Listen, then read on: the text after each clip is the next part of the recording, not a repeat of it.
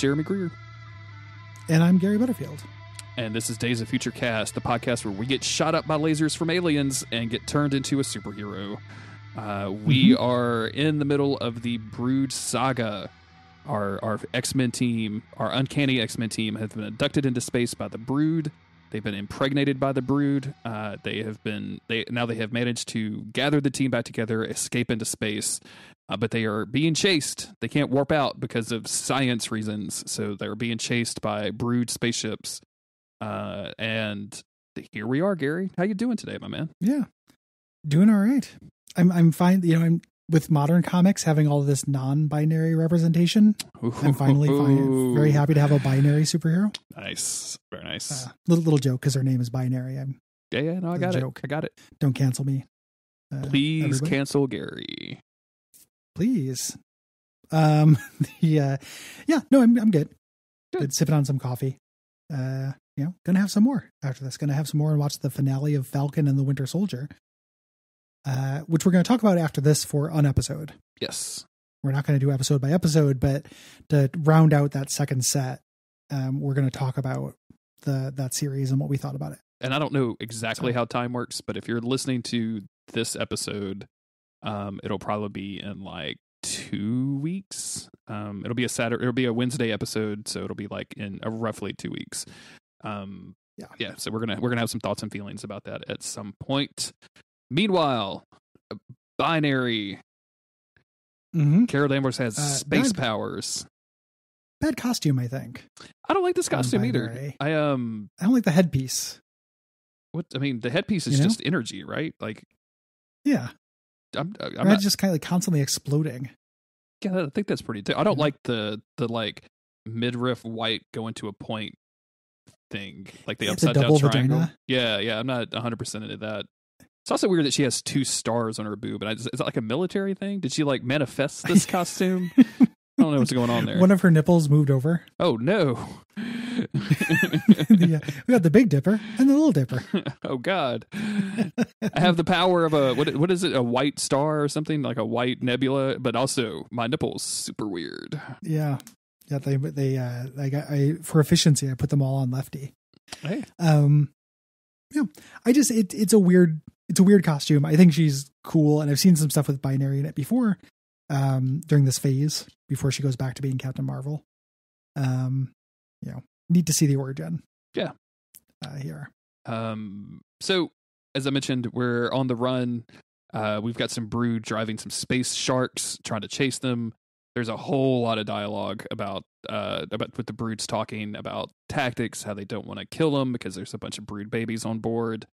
Um, boy, that'd be a bumper sticker for you. Can see from the sticker in their back of the window. yeah, you get a brood baby on board, like yellow it. sign for the car. Um, yeah. and they make special mention of Wolverine, saying like, "Oh, we can definitely kill Wolverine." Because he he killed the baby inside of him, so he is an abortion lover and he doesn't deserve to live. Yeah, the brood are pro life, extremely pro life. They are they are prude life. Is that prude life yeah. is good. Yeah, okay. Bro, prude, the prude. I just imagining uh, a bunch of brood outside the clinic, like throwing blood. Yeah, yeah, and then talking on, a lot, uh, just constantly talking. God damn. Um, the uh, and the X Men are basically talking about their ship. Like, can we outrun them? Uh, you know, not really. Like, we're still in a gravity well from the uh, the planet, and we can't outrun them other than warp speed. Um, so we can't get there yet. Um, we don't really have weapons, uh, even though they eventually will uh, will have weapons. Yeah. Um, um. So yeah, uh, they they who is it? Carol and Colossus and Wolverine run to the weapon systems. Um, mm-hmm. And Cyclops are also going to be weapons in a different way. We'll figure that out in a minute. Uh, we have another opportunity for Colossus to sit down and go like, I don't know how this video game works. I don't like it. Also, I think it's kind of wrong to kill these people that are definitely trying to kill us. Um, yeah, this is his turn. I kind of we've talked about this. I kind of wish it was just Cyclops having this problem. Like if it was it, it, if it, yeah. if it was just Cyclops or just Storm or just Cyclops and Storm, but like Colossus and Kitty having to do the whole routine of, oh, it's bad to kill the weird aliens. What put the baby in my body? Like I, I, I don't know. just, uh, I love this as a. I I totally agree.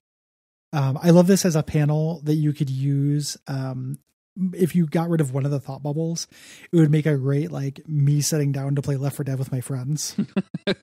uh, like image, you know, like not understand some switch mechanisms. My reactions are too slow. I'm failing my comrades. You know, uh, like when you have him sub in on the league, but I don't like him having it. And then we immediately have uh, Storm have it soon, and her freak out is a little bit more complicated. It's also about not you know being away from Earth and being away from weather. Yeah. Um, but it just yeah, it's tedious. Um, Cyclops they made uh, the ship extruded a little ruby ruby quartz dome for him to stand in and just blast aliens out of. Pretty cool. Got It's pretty rad. Like I think this is cool. like if I was if I was Cyclops, I'd be like, can you put one of these in like a I don't know, maybe like a Mercedes X2, like an Yeah. extended thing that can happen. Can you make my whole windshield one of these guys? That'd be pretty dope. yeah, like every every window in the mansion should be ruby A quartz. hundred percent, it should be Ruby Quartz. Ah, and cowards, cowards. Just, uh, yeah, next time you know, surprise Juggernaut. Uh, Storm is the reason why Storm is freaking out is she tries to summon. Uh, there's there's not very much atmosphere or weather in space. I can't take the solar winds from the sun, so she summons lightning bolts, and they are out of her control. And they end up killing some of the brood ships. Yeah. So she loses her mind. Uh, here, um, um, they are- very frustrating. the brood is continually opening fire, um, basically trying to s- slow the ship down, not letting it try to warp away. Um, when Kitty has the idea, because uh, I think their shields get damaged or something, she's going to go out to the hull and and fix everything. Which she is the the most qualified person because she is like fifteen and like three halves, um, and also Yeah. because she can phase in and out of um, she can phase in and out in case something tries to shoot her. So and she's not injured. You know, everyone's injured. This is before uh, Shadowcat ever had a good costume. Yeah, You know, and took a it took a really long time. Shadowcat's got a real Hall of Shame costume set. Um, Hmm. but she uh, that, she um, runs out. go ahead. Or was- yeah, I was just uh, this is back. I don't know who she is at this point. I think she's just Kitty. Like she's not Sprite, uh, or Shadowcat. Yeah. but um, she runs out while she's doing this, uh, and all the lasers are missing her.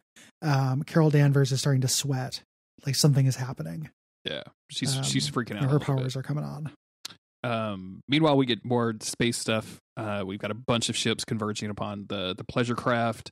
Cyclops is um is shooting them up, but there's only so many that he can handle. Storm is down. She she refuses to use her powers.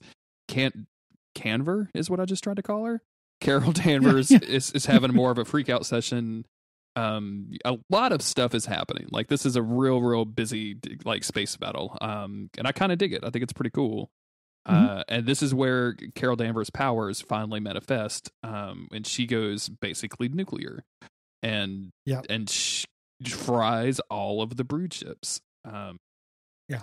This is cool. oh yeah, uh, this is Uh, this is pretty amazing. Very cool stuff. Uh, and this allows Kitty to the time she needs to fix the the warp or the shields or whatever, and then they just warp out, um, and they get away from the brood. Uh, Yeah. this is this is a lot of fun. Like good good spaceship stuff. I'm you know I'm I'm here for some Yeah, yeah. spaceship stuff. I'm, I'm I'm happy for an issue of it. Yeah. You know, I don't want multiple issues of, of space battles, but it's it's pretty novel here. Um, I really like this two page subplot we go to with Professor Xavier making like a seven course dinner for him and uh, Illyana. Um, they're the only people in the mansion, and he's got like all of these like this Thanksgiving spread uh, of food here, Well, he's uh, which I really love. he's bereft of anything else. He cannot. He, you know, he's he's so upset that he doesn't even care about anything. So he's like, I'm gonna take up cooking. That's what I'm gonna do for the rest of my life. feelings. Um, Illyana on this Um, page is drawn very. I guess it's an uncanny valley thing, but she looks very bizarre to me, uh, and I think they're doing that on purpose Yeah. because she like you know had an experience. Yeah, she she was tuteled like tuteled by a demon. Yeah, uh, for seven years. And this is her being really creepy. Like she's like, uh, this is really good. You know, she tests him at first. She's like, do you know what I'm thinking? And this was like a telepath will never indiscriminately mind scan. And the next panel, he's like, her thoughts are protected. Um, fucking hilarious. but you, it's a very funny. Um, she's like, am I a mutant? He's like, I'm not sure. And she's like, I can do neat things just like Peter. And he says, such as what? And she says, oh, things. Like she doesn't want to say it's because she's been taught dark magic by Belasco. and can summon the soul sword and all this cool shit. Yeah. So uh, this is a cool scene, I think. Uh, back to the spaceship. Um, uh, Kitty has been hit with some sort of space debris or a or a shot from one of the Brood Wars. Um, Carol Danvers in her new uh, binary outfit is going to save her and bring her back inside. Um, and then because the warp took off, took out all of the power of the ship, they're losing life support very quickly. You can tell because everything is in the blue and white. That's they put a filter over everything. That's how you know. Um, Mhm. and then, but binary has the power of a star, so she can go in there and just charge all the cells back up with using her powers. Yep, and she does. It takes a lot out of her, um, and turns her back into Carol Danvers for a minute. Like that's the limit of her power, but she's incredibly powerful. Yeah. uh, is the idea. Um, here, uh, her and Colossus are doing some repairs to the ship, and Colossus join uh, invites her to join the X Men. You know, uh, you're basically a mutant now. You've always been a friend, and uh, she says, like, I can't do that because that would mean living on Earth, and that was where you know Captain Marvel and Carol Danvers were. But now that I'm binary, uh, I am my place is among the stars. If I was Yeah. Colossus or any one of the X Men and I saw binary fucking charge up a whole spaceship using her powers, I'd be like, please come be on the X Men. My Yeah. power is that I'm I'm strong. That's it. I'm, I'm strong. I haven't done anything else. We need you. I turn into metal sometimes, Yeah. and I'm strong. like that's We're gonna get this girl named Jubilee. Like we need you. Um, yeah. Do you know Dazzler? Because I think you guys are going to get along, but I'm just saying there's an imbalance. Yeah. the uh we we we need you. There's a guy named Gambit showing up. Look out. Um the uh Nightcrawler is treating Kitty Pryde and he's recovered from his indus- injury uh, very quickly and she is as well. And all the scanning software is down. They can't figure out why she recovered.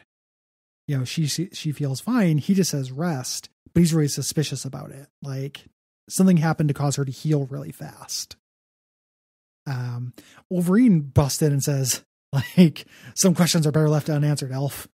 Just shut up. You know, ignore this super cool mystery.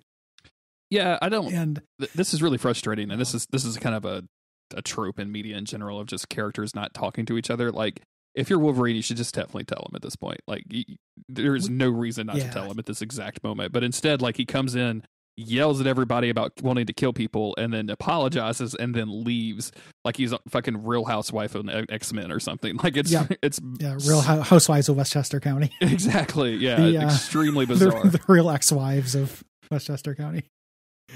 Um, he it's frustrating because he was going before they got attacked. He was going to tell them as well, you know. And it just it's just not very uh like it. You know, Claremont writes these people as very over emotional. It's okay to have the emotions, but it just ends up coming off as like pretty immature. Yeah. for Wolverine, you know. And he's going to tell them like this issue. Like he's not going to keep the secret forever or anything. He's just got they just got to play it out a little bit longer, and just so Cyclops can be like something's going on. And it's like, no, no shit, man. yeah, no You doubt. know, like just get this over with. um, Talk. Meanwhile, in the shuttle bay, uh, Storm is um, kind of lamenting the fact that she's not on Earth and she doesn't have a connection to her powers. And she starts having huge stomach pains uh, when she tries to fly, um, and realizes kind of as she's talking to Scott, like, "Oh my God! Like, what if the answer is in my own body?" And oh shit! Uh, when she realizes what's happening, she freaks out, blasts Cyclops out of the shuttle bay, jumps in the shuttle, and then takes the fuck off. Like, bitch, I will Yeah. be at Dwayne's to Cyclops, and I, Like, and I love it.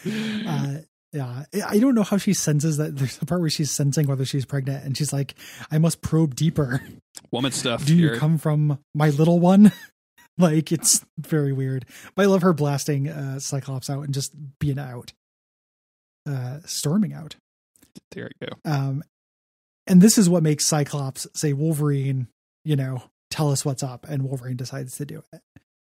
Um, you know, he says, Hey, I couldn't tell you because this hurt too much, but you guys all have eggs in you. I'm okay. I felt guilty about that. I don't know what's going to happen to you. Yeah. You know, you're going to, you're going to become X-Men brood.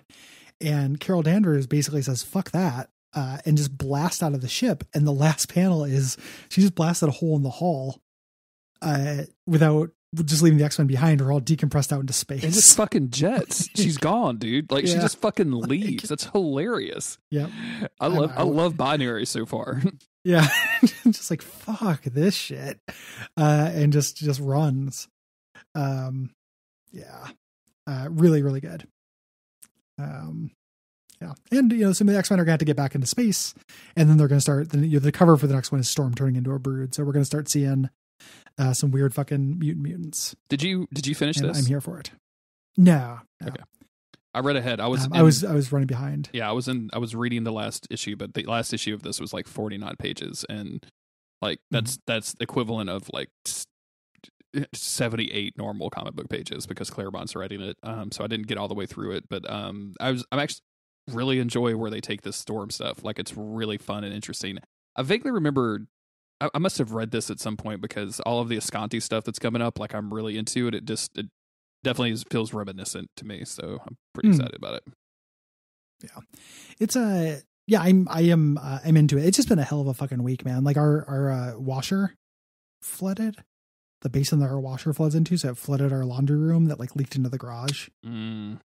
um so we've just been having plumbing shit and then you know uh no good so it's been a busy week i i didn't didn't get a chance to read these until this morning I um the one of the first things that happened when we moved into this house is the uh, drain pipe for our washing machine um wasn't secured all the way. So as the washing Mhm. machine was moving around, it just vibrated out and then just drained all of the water onto the floor.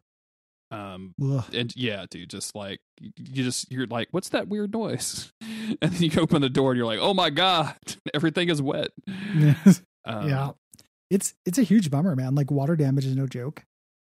Uh and it's insidious. Like we have fans running and stuff just in case there's just water hanging out in the baseboards waiting to give us moldy lung or something. Not You know, good. so. We rent though. Yeah yeah. Uh, yeah, not your fucking problem then, huh? yeah not Uh, not not my horse not my not my pig not my farm. See how that goes. i just rent the pig and the farm Why rent the pig when you can get the pig milk for free, Gary? Mm, mm. Mm. Um, if people like the show, they should head on over to patreon.com slash duckfeedtv. or just go to swinemilk.com. That's the that's the shortcut page for everybody. I'll go down and, and, and oink jug for your boys. oh no! Uh, Um, now I'm on Pornhub and I'm disappointed. yeah. Hashtag oink jug. Ugh.